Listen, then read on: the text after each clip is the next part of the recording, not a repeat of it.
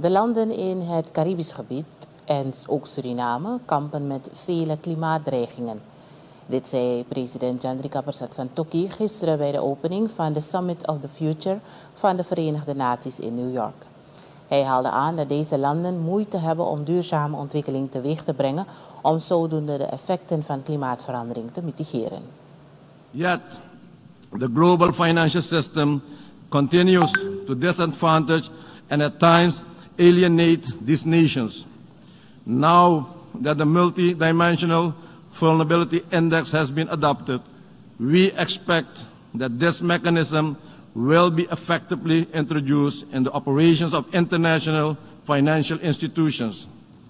My country, Suriname, for instance, a carbon negative nation with an abundance in resources, is burdened by significant financial and economic challenges.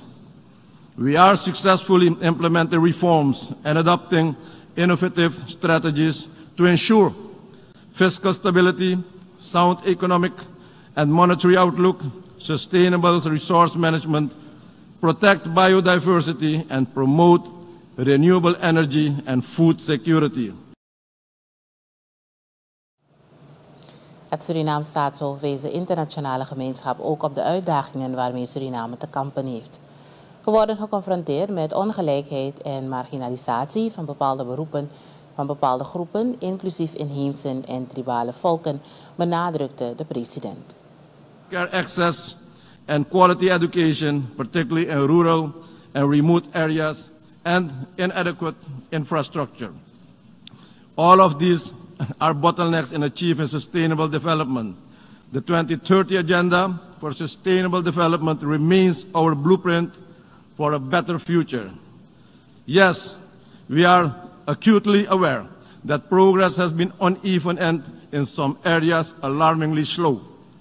It is incumbent upon us to accelerate our efforts to meet the SDGs.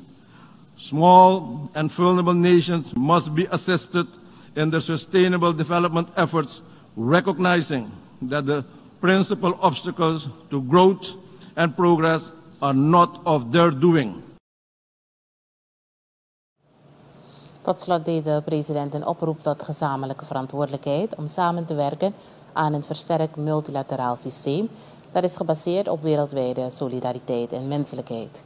Het is essentieel ervoor te zorgen dat niemand achterblijft in de gezamenlijke missie om een duurzame en rechtvaardige toekomst op te bouwen.